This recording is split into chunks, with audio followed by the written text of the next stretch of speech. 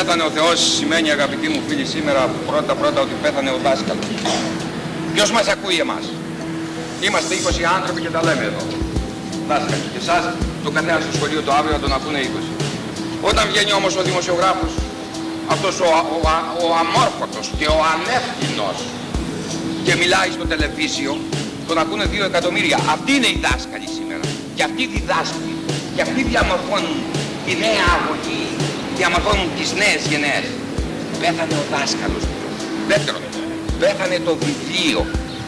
Ποιος διαβάζει σήμερα βιβλία; Έχουμε το τελεβίσιο και τα βλέπουμε όλα έτοιμα, έχουμε το θέαμα και διασκεδάζουμε. Ξέρετε τι φοβερό κακό είναι αυτό για τον άνθρωπο. Πού είναι το μυστικό του βιβλίου αγαπητοί Το μυστικό του βιβλίου είναι ότι διαβάζοντας μία σελίδα συνοδεύεσαι με την ανάγκη να μάθεις το πολιτικό σύνδρομο που λένε. Αυτό το στοιχείο έτσι και έχει εξαφανιστεί από τα θεάματα και τα ακροάματα.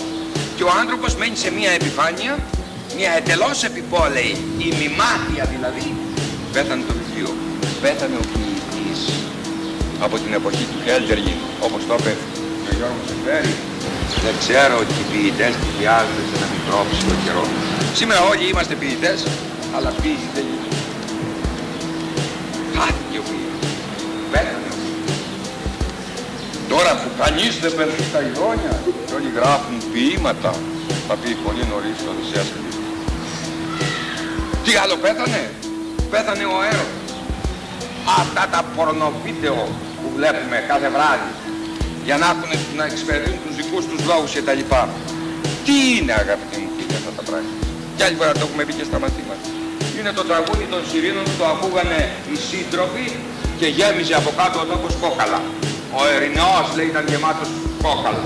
Το που οδηγεί αυτό το πράγμα και πόσο εκφυλίζει τον άνθρωπο σε σχέση με αυτό το υπέροχο φαινόμενο, τον έρωτα.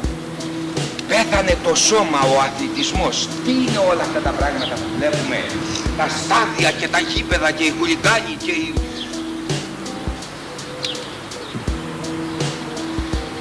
Παγκοσμίως δηλαδή το φαινόμενο. Δεν θυμίζει το κολοσσέον της Ρώμης. Για να ξεχνιέται ο άνθρωπος για να νομίζει. Πηγαίνετε όπου και να πάτε ακούτε να συζητούν για ποδόσφαιρα. Στα χουρία, στα μαγαζιά, στα ταξιά κτλ. Αυτή είναι η ιδέα. Αυτά είναι τα σημάδια που δείχνουν ότι τα συμπτώματα ότι πέθανε ο Θεός αυτή τη σήμανση. Ο Θεός δεν πέθανε. Ο άνθρωπος πέθανε. Αυτή, αυτό είναι πολύ οδυνηρό που θα σας πω. Κατά μία εποχή κάποιες θα πληρώσουν ακριβά αυτά τα ωφέλη που έχουμε για να δούμε εμείς σήμερα με βάση για όλη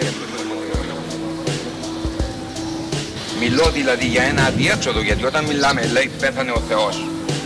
Ο Νίτσε εννοεί ότι ο πολιτισμός πολλαπλώς οδηγείται σε αδιέξοδο. Τι θα πει αυτό; Σταματάμε εκεί; Τι θα γίνει μετά; Έρχεται μια καταστροφή κοσμογονική αγαπητοί φίλοι. Και γιατί όμως εκείνες τις δυόμιση γενιές θα τα ζήσουν αυτή τη στιγμή.